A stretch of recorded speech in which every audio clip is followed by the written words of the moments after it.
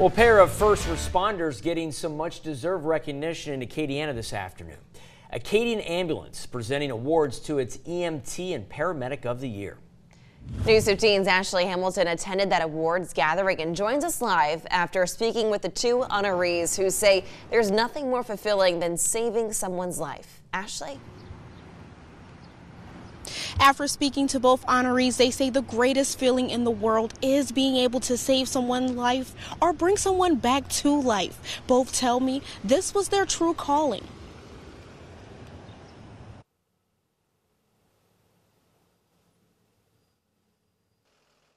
Dozens came out to honor paramedics and EMTs across the state for their hard work every day. Governor John Bel Edwards wants Acadian Ambulance to know the difference they make under challenging circumstances doesn't go unnoticed. 90% of the state's population's lives are better today because of Acadian Ambulance. And as the governor of our great state, and on behalf of all of the 4.7 million people who live here, thank you.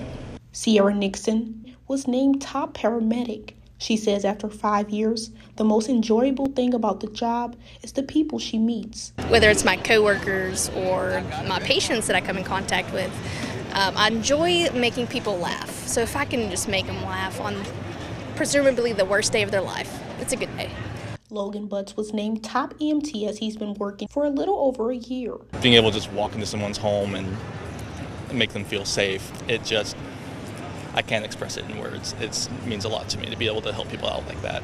They both admit it's their calling to get out there and help others in need, especially during natural disasters. That is some people's worst day or week of their life when these hurricanes come in, and being able to be a little light in that darkness means a lot to me.